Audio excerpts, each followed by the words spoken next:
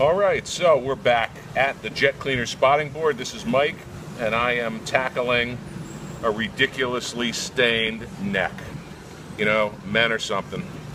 Here we go. We have a shirt that has just ridiculous ring around the collar. Look at this thing. Now, it begs the question, do, do people shower? No, you know what it is? It is a man wearing his shirt two to three times before getting it clean. And for the $2 and change it costs to get your shirts done, gentlemen, you should wear them once and get them clean.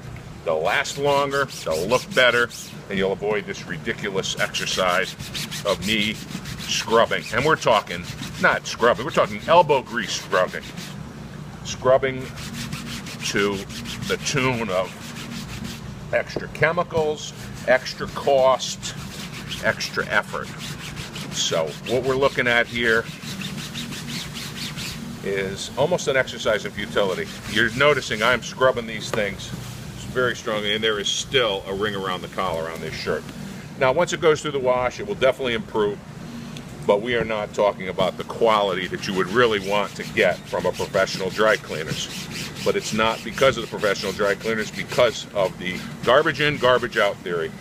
So guys, moral of the story, wear your shirts once, bring them to the cleaners, get them clean. We have enough specials, we have coupons online.